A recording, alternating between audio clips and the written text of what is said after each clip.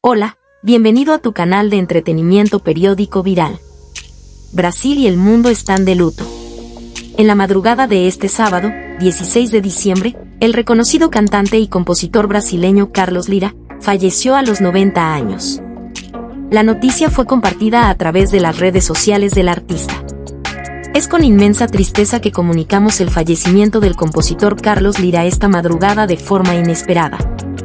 A todos les agradecemos el cariño. Redes sociales del compositor. La familia del cantante reveló que fue hospitalizado el pasado jueves debido a una fiebre.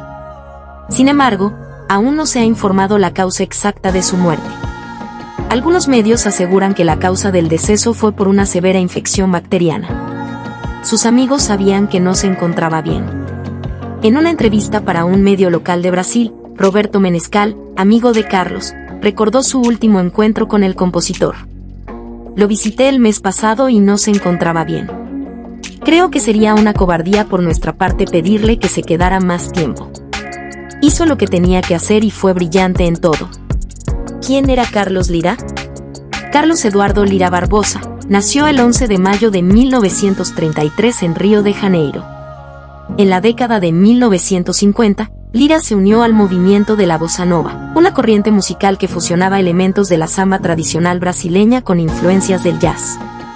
Sus canciones, caracterizadas por su melodía suave y letras poéticas, capturaron la esencia de la bossa nova y se convirtieron en clásicos de la música popular brasileña.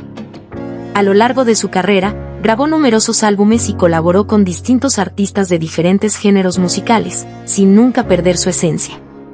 El legado del icónico músico, revelado en su álbum debut Bossa Nova 1959 y perpetuado en colaboraciones con figuras como Joao Gilberto y Vinicius de Moraes, se inmortalizó en obras como Marcha da Cuarta Feira de Cinzas, Mina Enamorada y Primavera. ¿Quieres más contenido como este?